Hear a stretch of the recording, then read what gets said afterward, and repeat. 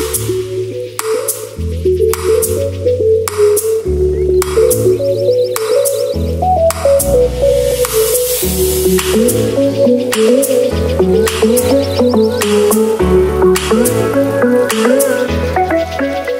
I'm Sean Hahn with West USA Realty, and this is 2218 East Sierra Street. We are in North Phoenix, close to uh, 24th Street and Shea Boulevard, right off the Phoenix Mountains Preserve. This is a three bedroom, two bath home that has 2,346 square feet.